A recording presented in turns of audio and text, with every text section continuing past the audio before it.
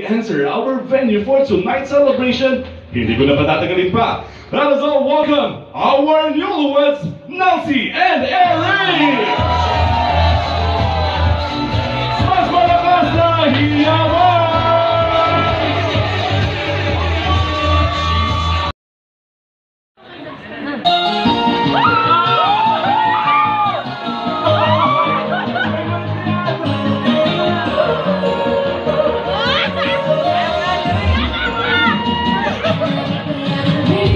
dream.